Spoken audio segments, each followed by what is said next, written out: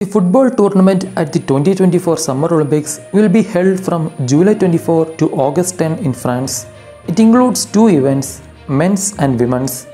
The men's group stage matches are scheduled for July 24, 27 and 30. The quarterfinals will be held on August 2 and the semi-finals on August 5. The bronze medal match is scheduled for August 8 and the men's final will take place on August 9.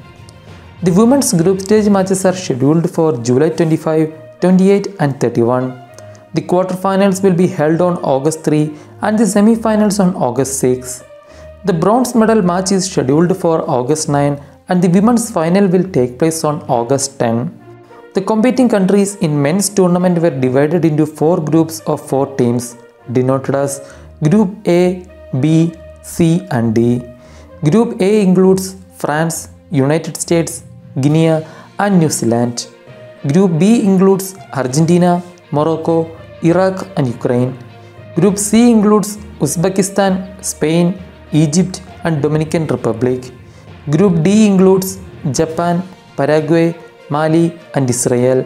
Teams in each group play one another in a round robin basis and the top two teams of each group advance to the quarterfinals.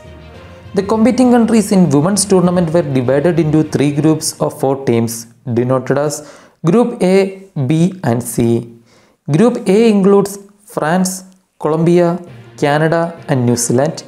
Group B includes United States, Zambia, Germany and Australia.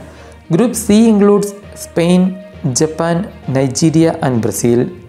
Teams in each group play one another in a round robin basis and the top two teams of each group and the two best third placed teams are advanced to the quarterfinals. Subscribe for latest updates. Thanks for watching.